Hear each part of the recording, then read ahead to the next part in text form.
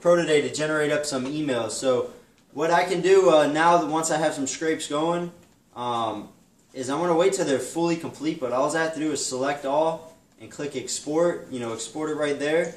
Go to my next tab. Same thing. Select all. Export. And now I have all these emails that I can harvest up. Um, and I could probably get, you know, scrape or harvest up probably 500 to 1,000 emails a day easy. And, and probably 30 minutes actually to make it, you know, to be fully um, but get on it, guys. Called the Ultimate Scraper Pro. Links at the bottom.